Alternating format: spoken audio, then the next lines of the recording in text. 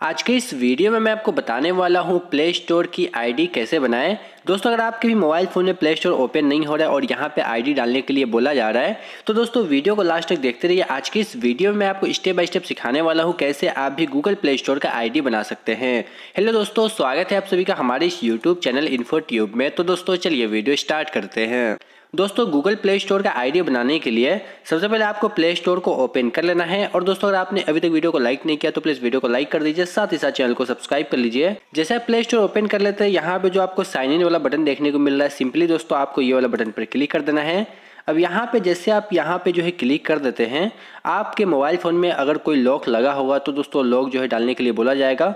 Lock डाल दीजिएगा और यहाँ पे आपको पाँच से दस सेकंड इंतज़ार करना है। उसका दोस्तों कुछ इस प्रकार का जो है पेज आपके सामने आ जाएगा।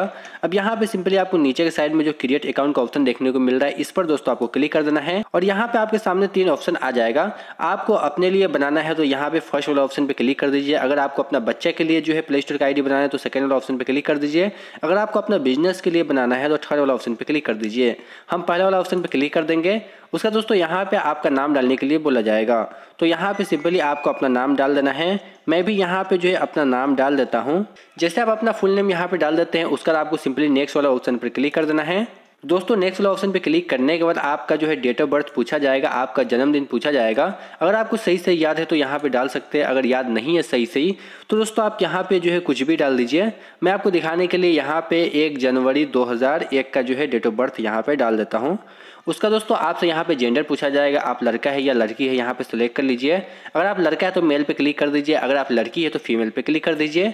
तो सिंपली हम यहाँ पे मेल पे क्लिक कर देते हैं। उसका सिंपली आपको नेक्स्ट वाला ऑप्शन पर क्लिक कर देना है।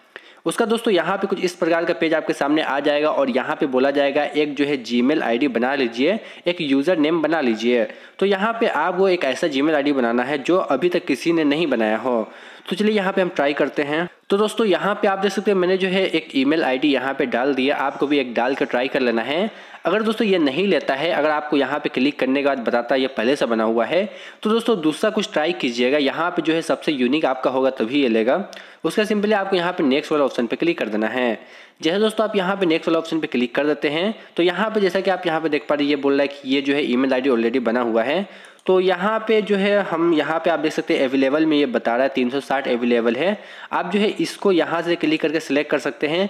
या फिर दोस्तों और भी यहाँ पे कुछ जो है डाल करके ट्राई करते रहिएगा। आपका कोई ना कोई ईमेल आईडी ले लेगा। उसका नेक्स्ट पे आपको क्लिक कर देना है और यहाँ पे आपको पासवर्ड बनाने के लिए बोला जाएगा। चलिए यहाँ पे हम एक नया पासवर्ड बना लेते हैं। पासवर्ड में आपको कैपिटल स्मॉल सिंबल सभी मिक्स करना है। पासवर्ड डालने के बाद सिंपली आपको यहाँ पे जो नेक्स्ट का ऑप्शन देखने को मिल रहा है, इस पर दोस्तों आपको क्लिक कर देना है। और दोस्तों, जैसे आप यहाँ पे नेक्स्ट पे क्लिक कर दीजिएगा, आपका मोबाइल नंबर यहाँ पे डालने के लिए बोला जाएगा। तो यहाँ पे अगर आपको मोबाइल नंबर डालने के लिए नहीं बोला जा रहा है तो यहाँ पे आप स्किप पे क्लिक कर सकते हैं। फ़िलहाल हम यहाँ पे यस आई एम पे क्लिक कर देते हैं। और यहाँ पे जो है हमारा ईमेल आईडी बन गया, इस बार जो है मोबाइल नंबर नहीं पूछा है। सिंपली आपको नेक्स्ट वाला ऑप्शन पर क्लिक कर देना है। और यहाँ पे जो है आपको नीचे जाना है और आई एग्री वाला बटन पे क्लिक कर देना है। उसका दोस्तों, यहाँ पे जो है आप देख सकते हैं लोडिंग ले रहा है। और कुछ ही देर में दोस्तों यहाँ पे हमारा ईमेल आईडी बन के रेडी हो जाएगा। जैसे कि आप यहाँ पे देख पा रहे जो है हमारा प्ले स्टोर का आईडी बन के रेडी हो गया। प्ले स्टोर का आईडी और ईमेल आईडी सेम ही होता है। तो यहाँ पे हम सिंपली एक्सेप्ट वाला ऑप्शन पे क्लिक कर देंगे। और दोस्तों फाइनली आप देख सकते हैं प्ले स्टोर यहाँ पे हमारा ओपन हो गया और प्ले स्टोर का आईडी बन के रेडी हो गया। वीडियो आपको कैसा लगा मुझे कमेंट बॉक्स में ज़रूर से बताइएगा। वीडियो को लाइक करना, साथ ही साथ चैनल को सब्सक्राइब करना ना भूले।